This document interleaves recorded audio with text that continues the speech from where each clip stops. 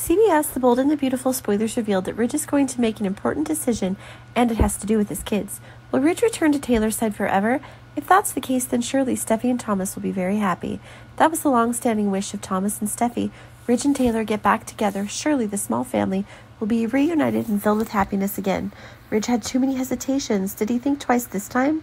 Ridge had to be steadfast no matter how Brooke came to beg or hold him. How much of Thomas and Steffi's efforts as they try to get their parents back together will pay off? What message does Ridge want to tell his children? Will it be a message that from now on he will live with Taylor and raise a small family together? Sheila organized a small barbecue party for Deacon. It was a warm gesture that Sheila gave Deacon to thank him for his carol this time. Perhaps Deacon was the only person who had treated Sheila well in the past. While Sheila's rejected and shunned by everyone, only Deacon can help her. Sheila's party went well, and then Sheila made love to Deacon. This, of course, cannot be avoided. Sheila and Deacon have known each other for a long time. They're both single, so it's difficult to escape the attraction to each other.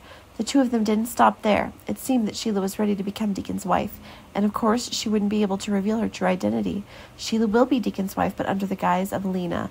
This is not too important for Sheila because no matter what clone she has, having Deacon is enough. Bill and Katie are probably thinking about their son and want to mend this small family.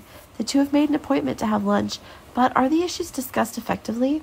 When Katie had been away from Bill for a while, and in the meantime, Bill was also acquainted with other women. Will their love return to the way it was before? That is, of course, very unlikely. Bill worked hard to bring his small family together, but Katie's attitude was beyond his expectations.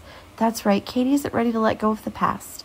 And that's also the reason why she didn't have the courage to think about the future and move forward with Bill. Actually, Katie still doesn't trust Bill enough. Maybe Katie needs more time to make a final choice. The question is, can Bill wait, or would Bill immediately turn to another woman?